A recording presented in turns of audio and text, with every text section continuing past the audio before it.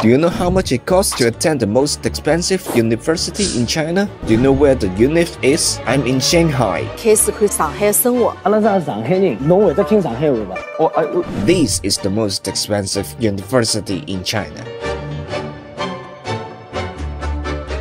NYU Shanghai. This one I came to the new campus, Qiantan campus. The headquarters is located in Pudong New District, perhaps one of the most expensive areas in the world. It's the first Sino-US joint university in China, co-organized by East China Normal University and New York University in 2012. New York University is a private university founded in New York in 1831. She is also your alumnus. graduating from NYU.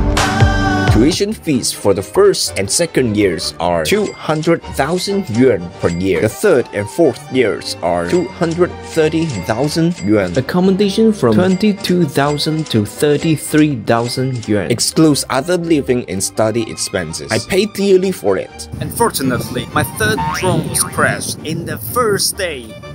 The first fuck.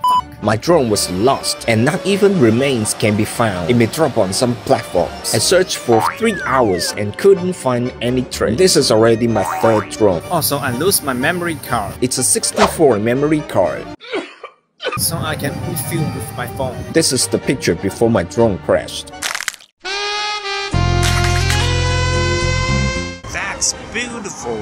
Just keep going. See you in the next video.